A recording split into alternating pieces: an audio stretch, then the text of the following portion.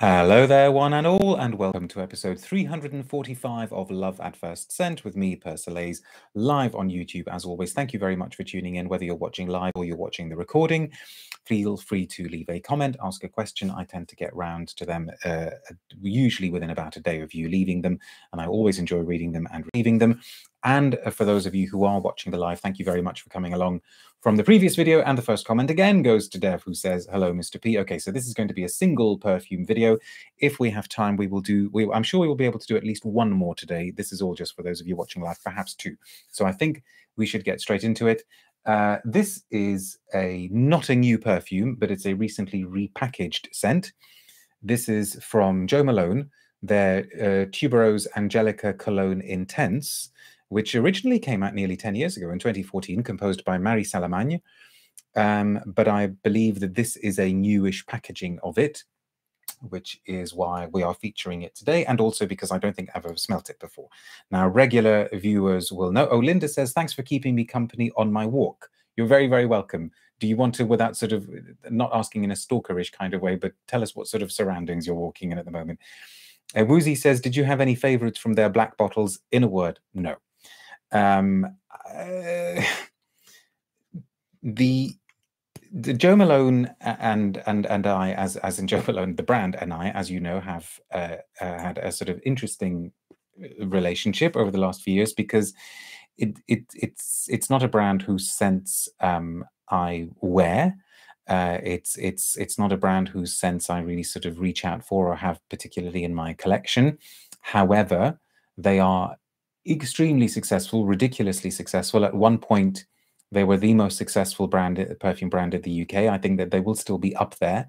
Um, their their boutiques are always full of customers. Um, people love the uh, the whole aesthetic. They they love the branding. They love the the bows and the ribbons. They love the layering side of it. So it um, clearly works for somebody. Um, and there are some that I have liked more than others, but there've never really been any that that I have got like in my um, personal arsenal of scents. And I, have you know I've gone on record as having said this before that they strike me a little bit as perfumes for people who don't actually particularly love perfume or want to be interested by perfume or want to explore a perfume, but just want to leave the house smelling vaguely generically nice. And, you know, that's okay. People don't have to be geeky about perfume in the same way that they don't have to be geeky about literature and music and, and, and films. Um, lots of you commenting on this. Anonymous says, on the topic of Angelica and tuberose, you need to smell Tuberose Organique by Christophe Laudamiel, which reconstructs tuberose from a tequila note and has a green facet with Angelica. Um, I'm, I'm, yeah, well, I'm, that sounds interesting. Smarks says Sally Hughes turned me onto mimosa and cardamom. Now, thank you for mentioning mimosa and cardamom because that is probably one of the most beloved of the more recent, recent-ish um, Jo Malone scents. And interestingly, that was made by Marie Salamagne as well. I remember when M Mimosa Cardamom came out, lots of people considered it one of their favorite scents of that year. It wasn't one of my favorites, but I could see the appeal of it.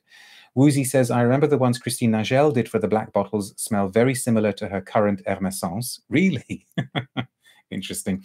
Sharon again says, there you go. I do enjoy their mimosa and cardamom. That that one keeps coming up. That that has become um, a, a, a, bit of a hit for them.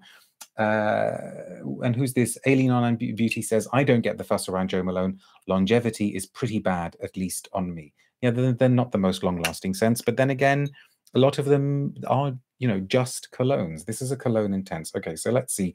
Tuberose Angelica from Jo Malone. I should say Joe Malone London. I noticed that this bottle has got. Am I just seeing things, or is it a slightly different logo? No, it's the same logo, isn't it? It is the same logo. Okay, let us just let us just spray. Um, okay.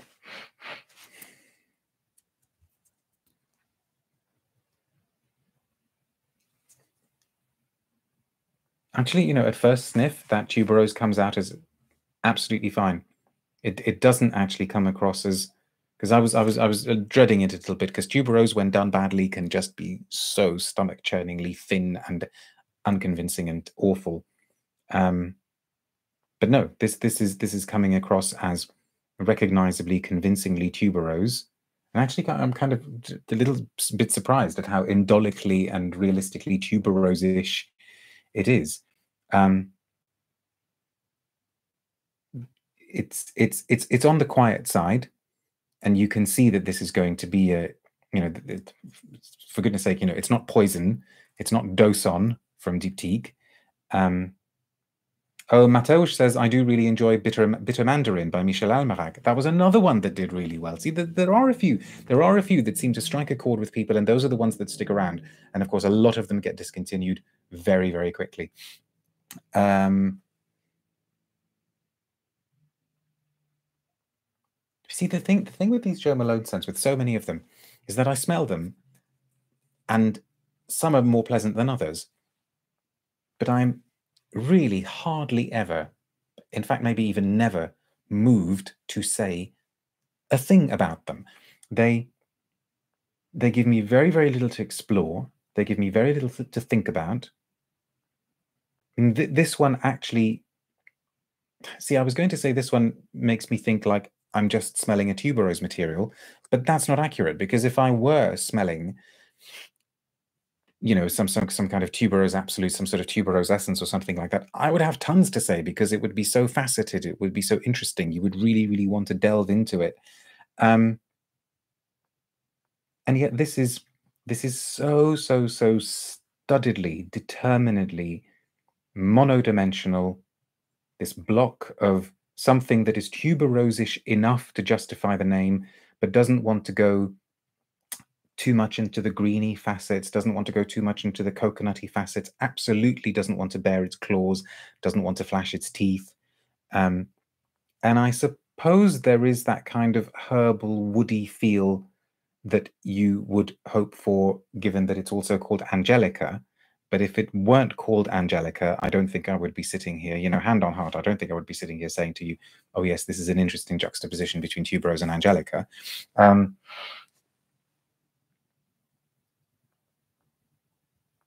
So, not to sort of damn it with faint praise, it, it could have been worse. It could have been worse. I should label this blotter actually. Um, but you can already feel that it's not going to be terribly long lasting.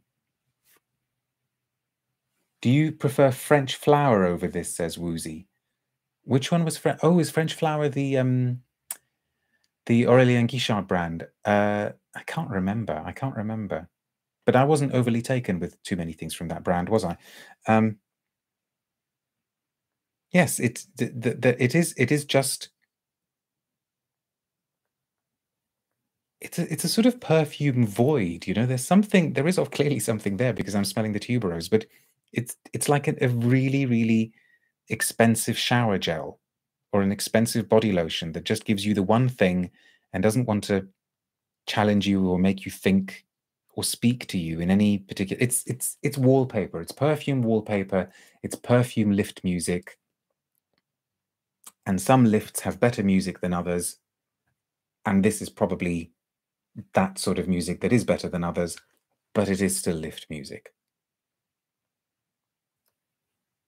Could have been worse. Could have been worse i think. Um, Spaced Out says, I would pay premium for more bashing from Persolaise. Whatever that means. So yes, I, I kind of I I'm loath to sort of say if you've enjoyed this video, please give it a thumbs up. But do, you know, if you found the video helpful and you found it useful, it's very, very useful to me if you give it a thumbs up. But you know, I'm kind of not particularly endorsing this scent. Let's just have one more sniff. I mean, it's it's it's just fine. It's just fine. But you know, if you wanted to do a tuberose this would be so low down the list of tuberose scents that that anyone um, would recommend to you. Another shoulder shrug perfume says, yes, it, it kind of is like that. A pleasant shoulder shrug. Okay, I think we need to just go, we're done with this one. Uh, so thank you very much for watching. And I will close this stream down and come back with another one in a few minutes. Take care, folks. See you in a bit. Bye now.